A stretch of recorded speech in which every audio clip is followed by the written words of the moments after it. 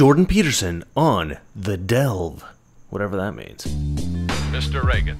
So this is an Irish uh, show of some kind. It was all right. The guy wasn't particularly combative. This is going to be a short one. There isn't a whole lot here that Jordan Peterson hasn't covered in other interviews, so I didn't find it particularly interesting. The whole first half of the interview is just a recap of Jordan Peterson's rise to fame. I don't know if he's that famous in Ireland. I, I expect that he probably is. So I'm not really sure why they covered that so much, but anyway. There's a Chris Rock quote here, would you believe? I think it's from 2004, the 2004 election.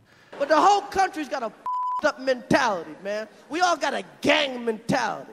Republicans are idiots, and Democrats are idiots, and conservatives are idiots, and liberals are idiots, and any, anyone that makes up their mind before they hit an issue is a fool, okay? Everybody. No, no, no, no. Everybody's so busy wanting to be down with a gang. I'm a conservative, I'm liberal, I'm conservative. It's bullshit. Be a person. Listen. Let it swirl around your head.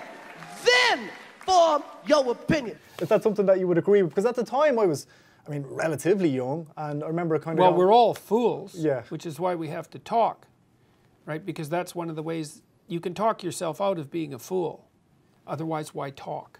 I mean, obviously, there's utility in, in speaking to other people, and part of the utility is to augment your viewpoint on the off chance that there's something that you don't know. And since there's many things you don't know, well, it's, it's, it pays to listen. I think the majority of people, the majority of the time, are actually quite reasonable and would rather learn something. That's what it looks like to me. I actually talk about this quite a lot. I think people on the right should listen to, watch, or read leftist media at least a little bit, just so that we have an idea of what they're talking about on, on, that side. And the same goes for the left. They should all watch Peterson, they should all watch Shapiro, they should all watch Fox News. I personally, I listen to BBC News, I watch Sky News, uh, which is a British British news. I watch France 24, I watch Deutsche Welle, which is a kind of a German news, which a good friend of mine is on, and I won't name her because she's a staunch leftist and she would kill me. and I read a variety of leftist online publications. You know, whenever a topic comes up, I'll, i want the left perspective. And I think this is valuable. Art of War, know your enemy. One of the things that characterizes people who are temperamentally inclined to be on the left is that they don't draw borders. You don't, because you want information to flow freely. And so, if you don't like borders, this is partly why Trump knew that making borders borders the issue was an intelligent political move. He intuited that borders are actually the primary, what would you call, it, domain of dispute across the political axis. But it's borders at every level border between concepts, borders between people, borders between cities and states and, and, and countries. It's the pr prime political issue. The leftists are skeptical of borders because they interfere, interfere with the flow of information. So you, think you think there's a psychological reason why? Oh, definitely. Basically. There's yeah. no doubt about it. People do vote their temperaments. But one of the problems with that is because the leftists can't draw borders, they can't draw borders around those who are too radical. Yeah. It's less troublesome on the right because right wingers are willing to draw borders. Now, I think it's also easier technically because there's something you can point to. Oh, there's a claim of ethnic or racial superiority. Box, shelved. It's very hard to do on the left, but it's necessary. This is interesting. He's drawing a parallel between the left's inability to draw borders psychologically with the left's inability to draw a distinction between the moderate left and the radical left. Well, I also think that there's another problem, and that's that the radical left and the moderate left have the same goals. The moderate right and the radical right do not have the same goals. The moderate right does not want to send all African Americans back to Africa and have a white ethno state. Okay? The radical right seems to. Normal right wing people don't want to see an ethno state. They just want the world to get better. And to follow up on what Jordan Peterson was saying about the border thing, they don't like to make borders in their minds. I also think that's partly due to the idea that the typical leftist has a sort of an emotional problem dissecting the left because it makes them feel bad, right? Well, we don't want there to be disenfranchised people. So we don't want to say, you know, you're not part of our group, right? They don't like the idea of excluding people from their group um, on the moderate left. Now, the radical left does not care at all about that. Right? They're constantly excluding people from their group. In fact, I would say most people on the radical left don't even consider moderate leftists to be leftist, which is crazy, but whatever. Okay, let, us talk about Trump then briefly for a sec. The worst thing, from my point of view, that he does is make it seem okay to be a troll and to be a troll in real life Mm-hmm. and to and to use the kind of language that he uses. And I think that might be the worst thing that he does. It's possible that that's the worst thing that he does. Um, Trump, the Trump phenomena, phenomenon, probably worries me less than people think it should. But there are reasons for that. The first reason is that I don't really think that the American people are more polarized now than they were 10 years ago. And the reason I think that is because for 20 years, 50% of them have voted for Republicans, 50% of them have voted for Democrats. It hasn't moved. It's been exactly the same. Now, this time they had Clinton and Trump as candidates, and perhaps that was unfortunate. You know, and I also don't think Trump won the election. I think Clinton lost the election. It was hers. She had it in the bag. There were a number of things she did that were really not very bright, like play identity politics that cost her the election. I don't think that the Americans are any more polarized than they were under, under Nixon. And so they've muddled through this sort of thing before. Trump is an anomaly, in my estimation. Um, he isn't a typical Republican. He's quite bombastic and assertive. He's not a typical conservative. In fact, he wasn't a conservative, I don't think, He's at a all registered before. Democrat, I Well, think, yeah, y- yeah. yeah, and he's got an entrepreneurial bent as Yeah. well. And entrepreneurial types tend to be liberal that's what he sold himself on, I suppose, well, as president, well, he is an, an entrepreneur. He's an author. He, he had a successful TV show. He's had his real estate dealings, and you can quibble about how successful he was at some of those things. He was certainly successful on TV. And so he's got the an entrepreneurial temperament. So he's a strange person. He's an idiosyncratic person. And the one thing I would say in his favor, as far as I'm concerned so far, is that he has not embroiled the U.S. in an additional stupid war. And that's happened a lot in the last 15 years. And the fact that that hasn't happened so far, I'm quite happy about. So he's noisy, he's provocative, that's for sure. He seems impulsive, um, although it's hard to tell how much of that is crafted, you know.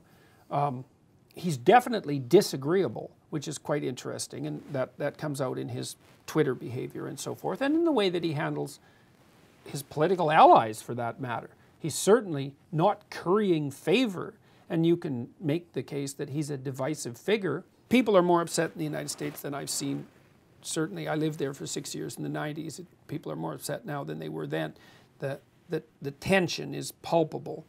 Um, but I'm not convinced that that reflects a genuine polarization on the part of the populace itself. So I'm not too worried about the situation in the United States. I think the Americans have been through far worse than what they're going through now. The economy's in reasonable shape, although people argue about how sustainable that is. I think what's happening in North Korea is extremely interesting. I mean, I'm not optimistic about it because anybody with any sense would never be optimistic about North Korea, but um, it could be worse. I mean, how do you judge the success of an American president?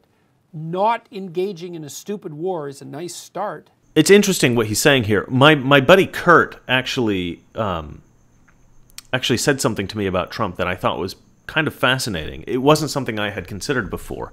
I told him that I was hesitant to vote for Trump when he first started to run for president because I didn't think he was a true conservative. But he's proved himself since to be a true conservative. But then Kurt said to me, "You know what? I don't know if he was a true conservative before. I think it's possible that that Trump was to some degree a leftist before he before he ran for president.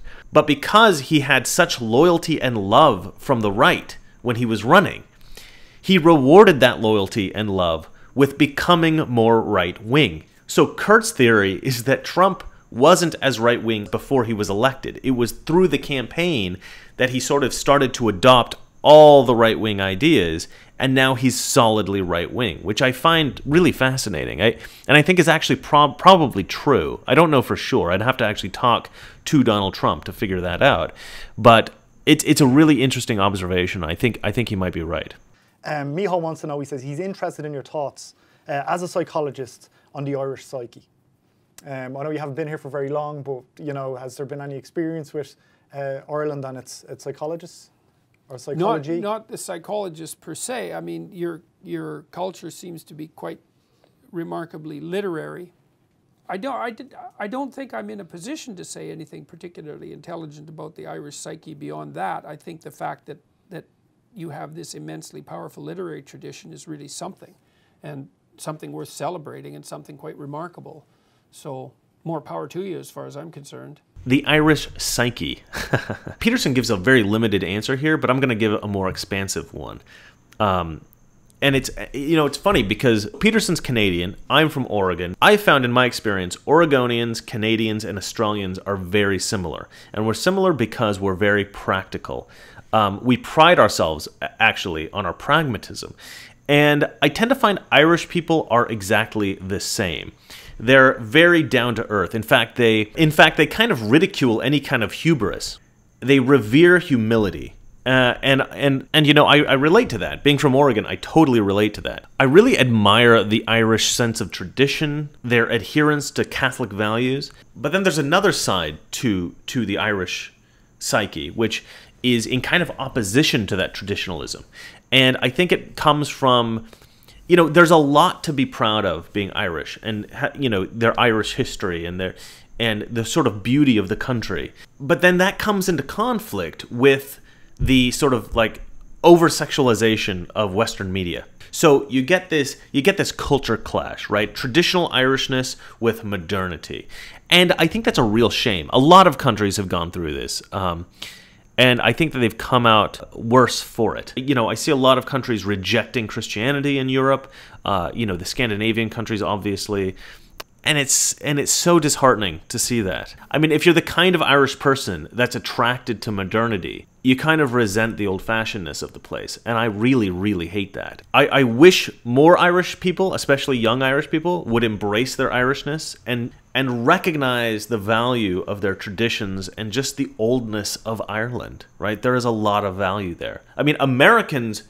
Americans love that stuff. We romanticize that stuff because we don't have it we don't have castles. Okay, we don't have these ancient traditions. We don't have that ancient history. You know, we do have traditions, we do have history, but we don't have that ancient history. That's that's very captivating for us. We love it, and you as Irish people, you should love it too. Is there any movie in the past ten years or so uh, that thought maybe I could use that in a certain way in my lectures to to put across a point? Oh, I, I've thought about doing that with some of the superhero movies the the Marvel movies in particular. I could do that with Batman and and the Joker, especially the Heath Ledger performance. That's probably more than ten years old because Heath Ledger did a great job of Incredible. playing the Joker. Yeah, yeah. Maybe it killed him. Yeah. You know. Yeah. Well, what I really liked about the Joker's character was that he wasn't trying to win; he was trying to lose right? It's very, very difficult to deal with someone who's trying to lose. He just wanted chaos. Mm, yeah. Right, exactly, exactly, and he, and he definitely did represent. That's why there's it's a terrifying. Part of, yeah. Mm, and there is a part of people's psyche, especially when they become extraordinarily resentful and bitter, is they're not aiming up. The people who shoot up high schools and then kill themselves, they're aiming down. They're very successful at attaining it as well. So it's it's it's that's an interesting part of the psyche to try to to try to shed some light on although it's dangerous. This is fascinating. People who are trying to lose. Like physicists talk about entropy, which is na- nature's tendency toward disorder, right? So if you build a wall, it's a sort of simple construction, but it's very precisely organized, right? You have to organize stone by stone. Over time, the elements will destroy that. It'll it'll pick apart that that stone wall until it's nothing, right? Until it's dust. Total disorder from order disorder. That's how the universe is set up. It's an interesting point. Uh, you know, so he, what he's saying is somebody who is aiming toward disorder with absolutely no constructive goal is a very difficult person to stop, right? But I do think that there is a solution to this. It's one of those solutions that's very simple but very difficult to implement. The more ethical the society is that we create, the fewer psychopaths should emerge. And I absolutely believe that. I think that's 100% true how should you conceptualize your life? Peace and tranquility? I don't think so. I think if you're lucky, your life is an adventure, and that's fine. I think that's the best you get, is that you're contending. You're contending with life successfully. And so that's the situation that I'm in, and that's fine. If you're lucky, your life is an adventure. I love that. I couldn't have said it better myself when you're a kid, people ask you what you want to do when you grow up, and I used to say I want to go on adventures. That was my, and that had a lot to do with the fiction that I read and watched and stuff. But I think at the end of the day, that's sort of everybody's desire, great desire. I mean, I think this is why people go on vacations to some extent. People say it's to relax, but how often do you go on a vacation and come back relaxed? You always go on a vacation and end up totally stressed out and exhausted. We're often going on a vacation to challenge ourselves, right? To give ourselves new, interesting experiences. Honestly, like if we went on a vacation to feel good, we would go to a really expensive hotel and we would spend the whole time in the hotel. He said, he, he's involved in many projects, he said the only time he really feels like he's accomplished something is when he's writing. And I kind of feel that way too. Like if, I, if I've written during the day, then I really feel like I've done something that justified the day. And lecturing is like that and clinical work is like that, but writing is definitely like that. Writing makes you feel like you've done something that justifies the day. As a writer, I 100% approve of this message. Alright, that's the end of this one. So now I have some Mr. Reagan merchandise available, link in the description. If you like these videos, you just want to contribute a couple of dollars, you can add to my Patreon, that's also in the description. That would be immensely helpful. And I'm going to publish a book soon. It's not about politics, it's a fiction, but the reason I'm making it available is I do think conservatives need creators of fiction that they know they can trust. They know they don't have to read every detail of every story and try to figure out what is the leftist agenda here. That's always frustrating. You're safe if you read a story from me. There's no leftist agenda. It's all pro conservative, it's all pro Christian stuff. And so I want to make that available to everybody. And I'm not requiring anybody to pay for it, but if you can pay for it, there will be a suggested price. And if you're broke, don't worry about it. Just read it, right? You know, I don't want anybody paying for this book that, that can't afford it. And if you really love it, you can give me a million dollars. I will accept it. That's it for me. If you like this video, hit the like button. If you want to see more like it, please subscribe. And if you hate me, go ahead and say so in the comments. I won't censor it. I promote the free exchange of ideas, no matter how bad they are. Together, with God's help, we can and will resolve the problems which now confront us. And after all, why shouldn't we believe that? We are Americans. God bless you and thank you.